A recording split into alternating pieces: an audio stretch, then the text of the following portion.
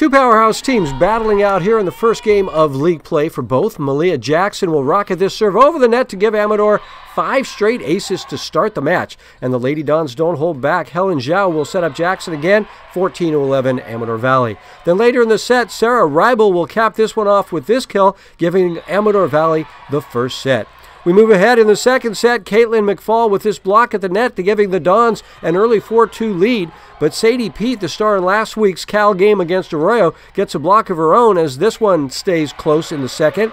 Each team would go back and forth until Genevieve Bain and Juliana Bronzini with this block that extends the set for Cal. But it's Reibel again with a rocket that lands just inbounds to give the Lady Dons the second set. The Lady Grizz claw back in the third. Sophia Aguilera giving Cal the 18 13 lead. And then it's Genevieve Bain on the service ace, and you can count the point as Cal takes the third. Moving ahead to the fourth set, Helen Zhao lobs it out to Sophia Moore for the kill to add to a team total of 52 kills on the night. And this match belonged to Amador Valley as Reibel caps it off for her squad as the Lady Dons take home the W in their first game of the season with a three sets to one victory over California.